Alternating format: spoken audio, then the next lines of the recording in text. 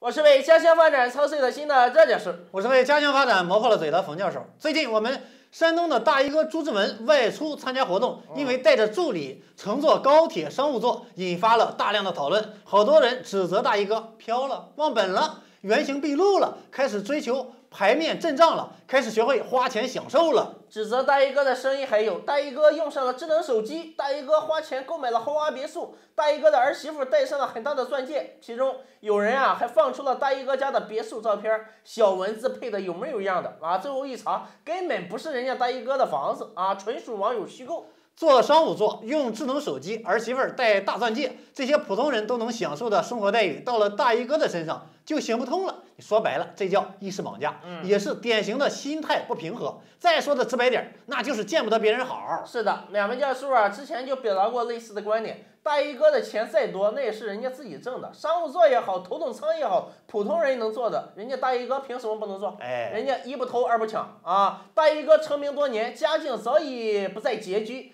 不能说多有钱吧，但在农村来说，绝对属属于能排上游的。哎，一直以来啊，有部分网友一直觉得大衣哥的久居农农村啊，朴素低调，他就是为了维持热度，故意在网友面前伪装的。所以一直有人他不平衡。再加上前不久大衣哥的儿子成婚啊，儿媳妇转行当网红，二十天涨粉二百六十万，一家人的日子呢过得风风火火。有些人开始酸了，哎呀，开始觉得大衣哥原形毕露了。这有啥原形毕露的？只不过是大衣哥的儿媳妇借公公的名气涨了些粉丝，开了几场直播而已。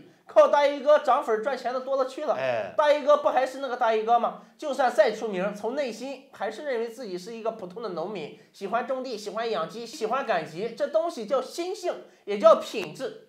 哎呀，看到大家对大衣哥的质疑，两位教授突然间以后不不想出名了呢？说的就跟咱俩真能出名一样。哎呀。差不多我是为家乡发展操碎了心的赵教授，我是为家乡发展磨破了嘴的冯教授。